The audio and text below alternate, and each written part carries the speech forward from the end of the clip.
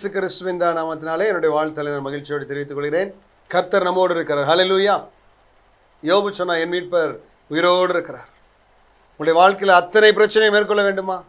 இயேசுவை உயிருள்ளவர்களாய் நீங்கள் பார்க்க பழகுங்க. நீங்கள் அப்படி மாத்திரம் பார்த்துட்டீங்கன்னா உங்களுடைய வாழ்க்கை ஓ மாறிவிடும். ஹாலிலூயா இன்றைக்கு கூட வேதத்திலிருந்து ஒரு காரியத்தை நாம் தியானிக்க இருக்கிறோம். லூக்கா பத்தொம்போதாம் அதிகாரத்தை நீங்கள் திருப்பிக் கொள்ளுங்கள் என்னோடு. ஏன்னா அதிலிருந்து அநேக காரியங்களை நாம் தியானிக்க இருக்கிறோம். லூக்கா பத்தொம்போது மூன்று.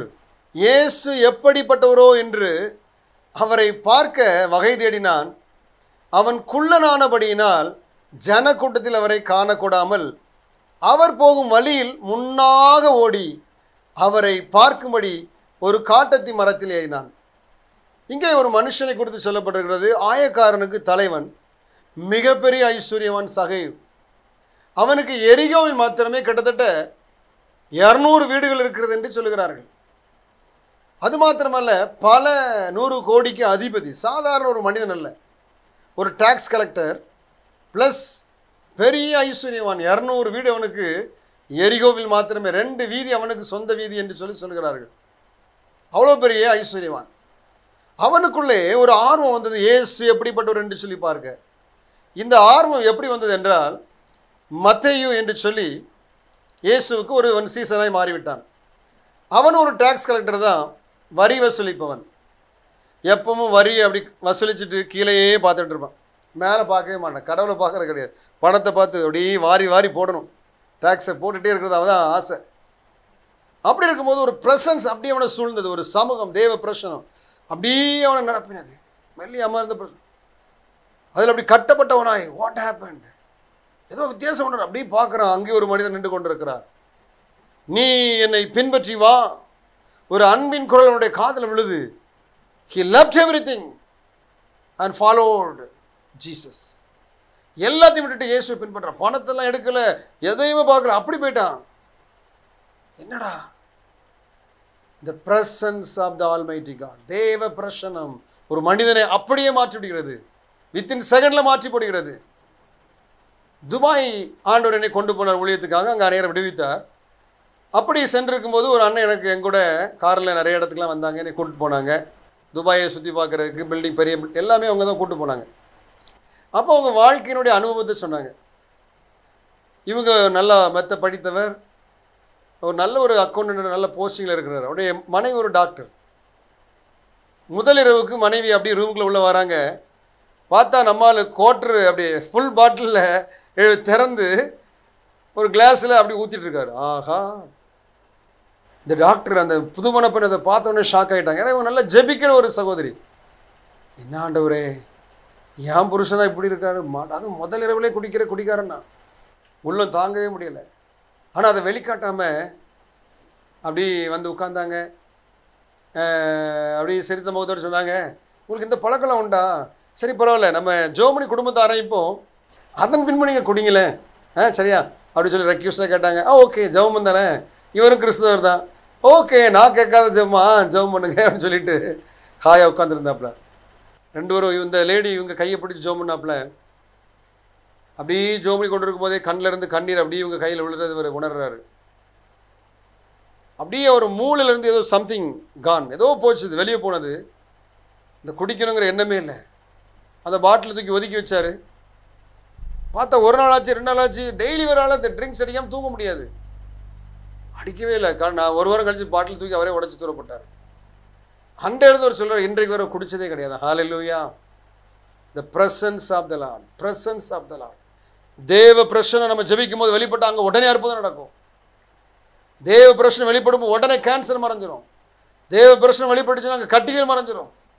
The presence of the Lord is so powerful கர்த்தரையும் ஒரு சமூகத்தையும் நம்ம டெய்லி நாடும்போது அந்த பிரச்சனை நம்ம மூலமாக வெளிப்பட ஆரம்பிக்கும். தேவண்ட வல்லமை நம்ம மூலமாக வெளிப்பட ஆரம்பிக்கும். இப்போது இந்த மத்தையு தான் ஒரு லெட்டர் எழுதினார். யாருக்கு? சகையுக்கு. அது இன்றைக்கும் ரோமில் இருக்குது. சரியா? இன்றைக்கும் ரோமில் அந்த லெட்டரை பத்திரப்படுத்தி வச்சுருக்குறாங்க மியூசியத்தில் அந்த லெட்டரில் என்ன எழுதப்பட்டிருக்கிறதுன்னா சகையும் மத்தையும் ரொம்ப ஃப்ரெண்டு ரெண்டு பேரும் ஒரே தொழில் தான் ரெண்டு பேரும் ஃப்ரெண்டு அப்போது மத்தையும் எழுதுகிறாப்புல லெட்டர் எழுதியிருக்கிறாப்புல சகைவே என்னுடைய வாழ்க்கையில் இப்படி நடந்துச்சு. ஒருத்தர் வந்தார் ஒரு பிரச்சனை என்னை மூடியது நான் எல்லாத்தையுமே விட்டுட்டு அவரை பின்பற்றி போயிட்டேன்.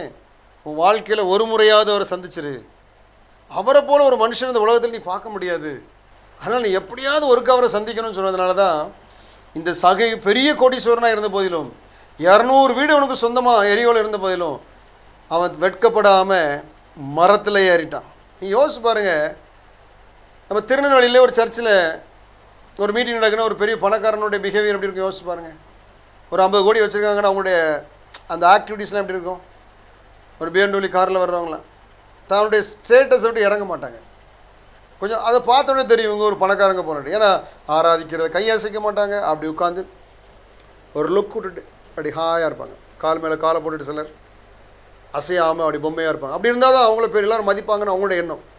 ஆனால் ஆண்டோடைய சமூகத்தில் வந்தவொடனே எல்லாத்தையும் ஸ்டேட்டஸ்லாம் மறந்துடணும். அவன் தான் ஆசிரியக்கப்படுவான் ஹாலே லூயா இவன் எல்லாத்தையும் மறந்துடான் ஸ்டேட்டஸ் என்னென்னு மறந்து அப்படியே ஏறி இயேசு பார்க்கணும் பார்க்கணும்னு ஒரு வெறி.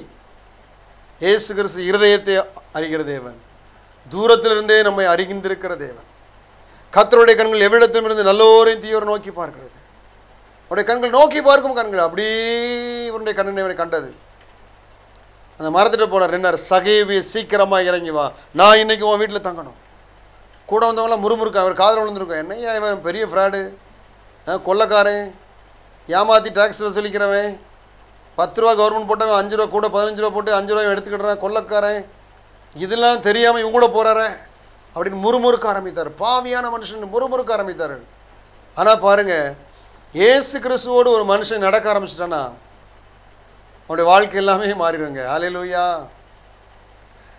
when we started to walk with jesus everything will be changed our mind and soul and everything will be changed immediately that is happen in his life அவருடைய வாழ்க்கையில் தான் நடந்துச்சு இயேசுவோடு கொஞ்ச நேரம் நடக்கிறதுக்குள்ள அவருடைய பிரச்சனும் இவனையோட இடைப்பட்டது அவன் சொன்னான் ஆண்டவரே நான் யார்ட்டையாவது அநியாயமாக வாங்கினா நாளத்தினையாக திருப்பி கொடுக்குறேன்.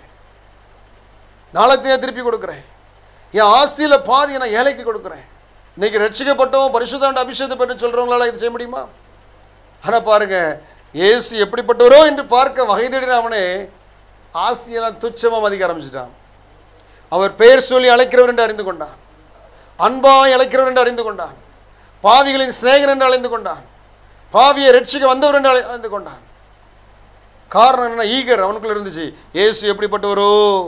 இன்னைக்கு எத்தனை பேருக்கு அவர் எப்படிப்பட்டவர் என்று அறிந்து கொள்ள ஆசையாக இருக்கிறீங்க? அவர் பரிசுத்தர் என்று அறிந்திருக்கிறீர்களா? இனி அவர் ராஜாதி ராஜாவாய் கர்த்தாதி கர்த்தவாய் வரப்போகிறார் என்பதை அறிந்திருக்கிறீர்களா? அப்பொழுது நீங்கள் சம்பாத்தியம் பண்ண ச- பணம் எங்கே போகும் என்பதை அறிந்திருக்கிறீர்களா? இனி ஒரு வாழ்க்கை இருக்கிறது ஐயா. இனி ஒரு நித்திய ராஜ்யம் இருக்கிறது பரலோகம் இருக்கிறது. அப்போஸ் நான் இப்போ ஒரு பிலிப்பியர் மூணு இருபதில் சொல்கிறாரு நம்முடைய குடியிருப்போ பரலோகத்தில் இருக்கிறது. அங்கேருந்து கத்ராக இயேசு கிறிஸ்து ரட்சகர் வர நான் எதிர்பார்த்து காத்திருக்கிறேன். எத்தனை பேருக்குள்ள அந்த உணர்வு இருக்கிறது? ஐயோ அந்த பரலோராஜ் நான் பிரவேசிக்க வேண்டும் என்று சொல்லி எத்தனை பேருக்கு அந்த எண்ணம் இருக்கிறது? அந்த மேன்மையான பரலோராஜ்யத்தை அனுபவ அனுபவிக்க வேண்டும் என்று சொல்லி எத்தனை பேருக்கு உள்ள கதறுகிறது இன்றைக்காவது நீங்கள் பரலோகத்தை குறித்து எண்ணிருக்கிறீர்களா இரவு படுக்கும்போது ஒரு நாளாவது அதை குறித்து யோசித்திருக்கீங்களா? கடைசியாக நீங்கள் எப்போ பரலோகத்தை குறித்து யோசித்தீங்க? சிந்திங்க யோசித்து பாருங்கள் பூமிக்குரியவில் அல்ல மேலானவைகளை நாடுங்கள். மனுஷருக்குள்ளே மேன்மையாக எண்ணப்படுகிறது கத்தருக்கு முன்பாக அருவருப்பாக இருக்கிறது. மனுஷன் உலகம் முழுவதையும் ஆதாயப்படுத்தி கொண்டாலும் தன் ஜீவனை நஷ்டப்படுத்தினால் அவனுக்கு லாபம் என்ன? மனுஷன் தன் ஜீவனுக்கு ஈடாக எண்ணத்தை கொடுப்பான். கொஞ்சம் யோசித்து பாருங்க. இம்மைக்காக மாத்திரம் நாம் கிறிஸ்துவை பின்பற்றவர்களாக இருந்தால் எல்லா மனுஷரை பார்க்கிலும் பரிதமிக்கப்பட்டவர்களாக இருப்போம் என்று சொல்லி ஒன்று குறைந்தர் பதினைந்து பத்தொன்பது சொல்லப்படுகிறது. மறுமைக்காக நித்திய ஜீவனுக்காக நித்திய பரலோகத்துக்காக கிரியை நடப்பியுங்கள். அவரை தேடுங்க. பாருங்க இவருக்குள்ள அந்த ரெவலேஷன் வந்துச்சு. அவர் நித்திய ராஜ்யத்தை கொடுப்பார் என்ற உணர்வு வந்ததுனால தான் இந்த உலகத்தின் ஆசையை அவன் துச்சமாக மதித்து பாதி ஏழைகள் கொடுக்க ஆரம்பிச்சிட்டான். அநியாயமாக அவனுக்கு நாளத்தினே கொடுக்க ரெடியாக இருந்தான். இன்றைக்கி நீங்கள் மனம் திரும்ப யோ சகையை போல எத்தனை பேர் நம்ம மனம் திரும்பி இருக்கோம் பக்கத்து வீட்டுக்காரனுடைய லேண்டில் நீங்கள் ஒரிஜினல் எடுத்தீங்கன்னா சகைவன் மனம் நாலு சென்று கொடுக்கணும். ஏழை எளியவர்களை திக்கற்றவர்களை கொள்ளடிக்கிச்சு. பணம் சம்பாதிக்கிறியே மனம் திரும்பு லூயா பாருங்கள் எவ்வளோ ஒரு அருமையான ஒரு காரியம். உன்னுடைய வாழ்க்கையில் நடக்கிற காரணம் என்ன? இந்த பெரிய மனம் திரும்புதல் உன்னுடைய வாழ்க்கையில் உண்டாக காரணம் என்ன? அவனுக்குள்ள ஒரு தாகம். ஏசு எப்படிப்பட்டவரோ என்று பார்க்க வகை தேடினான். எப்படி பார்க்க வகை தேடினா உடைய நண்பன் எழுதின ஒரு கடினம் எத்தனை பேர் நீங்கள் இயேசு கொடுத்து மற்றவர்கள் சொல்லியிருக்கிறீங்க? இந்த கூட்டத்துக்கு போங்க என்னைக்காச்சும் சொல்லியிருக்கீங்களா? நம்முடைய கூட்டத்தில் எத்தனையோ கேன்சர் சோமாறாங்க. எத்தனையோ கொடிய வியாதிகள் ஆண்டவர் சோமாக்கியிருக்கிறார்.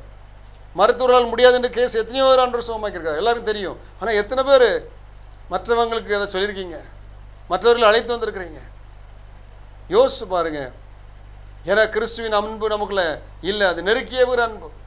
இன்னைக்கு அது இல்லாமல் இருக்கிறது இன்றைக்கி நம்ம ஆண்டவன்ட்ட வருவோம். சகையுடைய வாழ்க்கையில் பாருங்கள் ஒரு பெரிய மாற்றம் உண்டானது.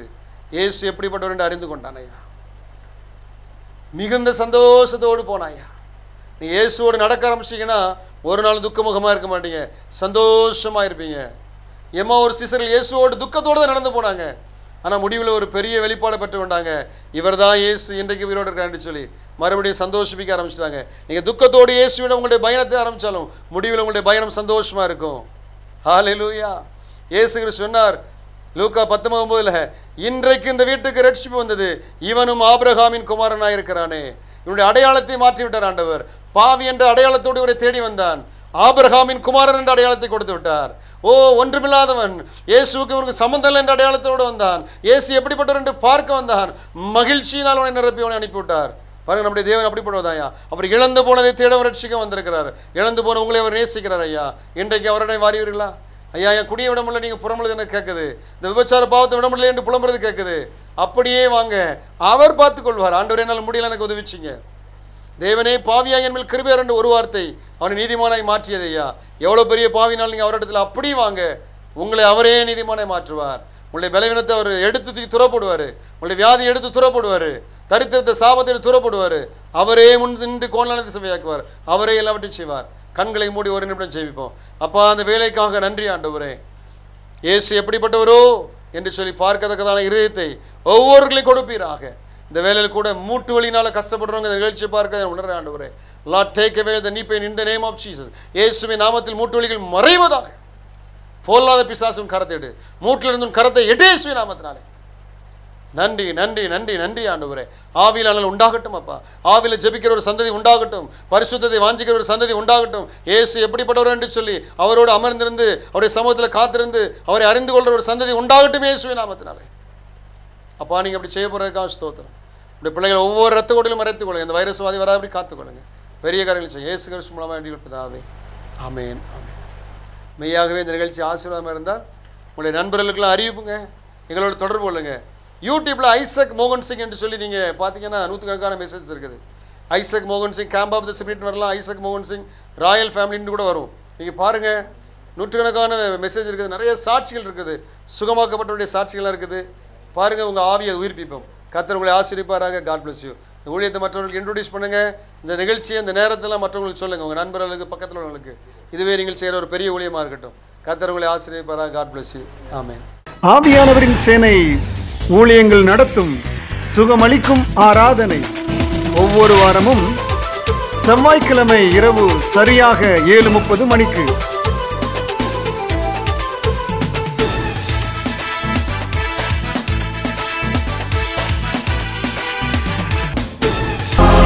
இடையன்குடியில் கீழ்கால் சுகமளிக்கும் ஆராதனை. நாள் ஒவ்வொரு வாரமும் செவ்வாய்க்கிழமை. இடம். கீழ்கால் ஜெப மையம் பீட்டர் தெரு இடையன்குடி.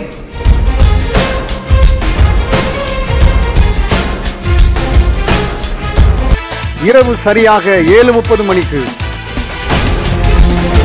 தேவ செய்தி. சகோதரர் ஐசக் செல்வத்துறை. ஆவியானவரின் சேனை ஊழியங்கள். வாருங்கள் உங்கள் துக்கம் சந்தோஷமாய் மாறும்.